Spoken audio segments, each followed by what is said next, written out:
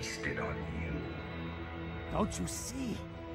The Dark Dragon is now truly an evil blade. His Excellency, the Dark Disciple, has been waiting for this very moment.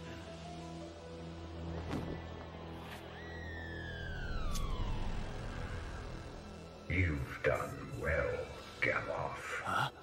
Murai.